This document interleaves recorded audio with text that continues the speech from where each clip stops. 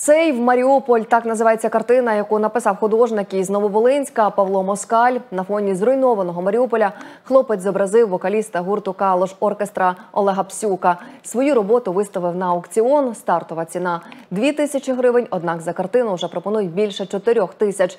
Завершиться аукціон 9 червня о 20-й годині. Усі виручені кошти будуть надіслані на допомогою української армії.